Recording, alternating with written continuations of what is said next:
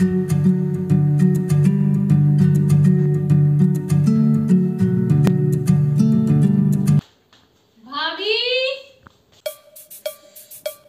घर में कोई नहीं है क्या? कहाँ गए सब? फिर आ गई भैंस। भाभी सोई पड़ी हो क्या? चैन ही नहीं है मोटी को। नहीं नहीं बाजी सोने का वक्त ही कहाँ मिलता है? अरे तो आओ ना बाहर के सारी बातें वहीं से कर लोगी।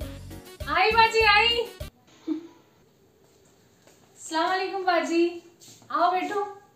वालेकुम अस्सलाम आओ भाभी बड़ी ज़बरदस्त खबर लेकर आई हूँ।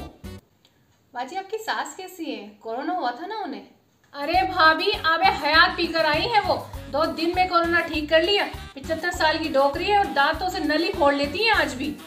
बाजी आप भी ना अरे छोड़ो तो मेरी सास को। तुम्हें शकीला की बात पता चली? तुम कहती थी ना, उसने अपने मर्द को पल्लू से बाँध रखा है। शकीला ने बाबा टोनल से लेके तावीज डाले हैं। उंगलियों पे नचा रखा है इसके आदमी को। दिमाग फिर गया उसका बाजी, शकीला से तो आपकी लड़ाई थी ना? खत्म हो गई वो?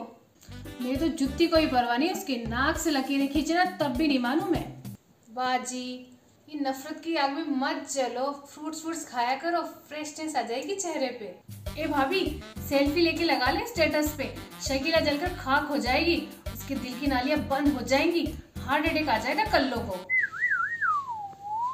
अच्छा भाभी, अभी तो चलूँ मैं, टोकरी के जूस का टाइम हो गया, खा जाएगी वरना बुढ़िया मुझे।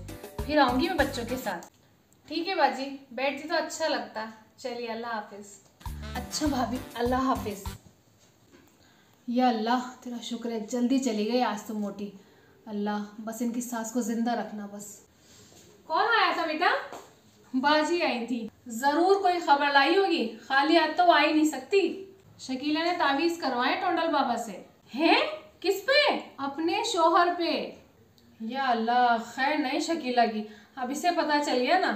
अब तो बाजी पूरे खानदान में फैला देंगे इस खबर को। तभी तो उसके पेट का दर्द सही होगा। हम्म सही है मम्मी। छोड़ो, वो और उसकी खबर है। तुम तो शाम का खाना बनाने की तैयारी करो। अगर आपको हमारा वीडियो अच्छा लगा तो उसे लाइक कीजिए, अपने सारे दोस्तों के साथ शेयर कीजिए, और कमेंट्स करके बताइए आपको हमारा वीडियो कैसा लगा। और नीचे लाल कलर से सब्सक्राइब लिखा हुआ है, उसे प्रेस कीजिए और हमारे चैनल को सब्सक्राइब कीजिए। Thank you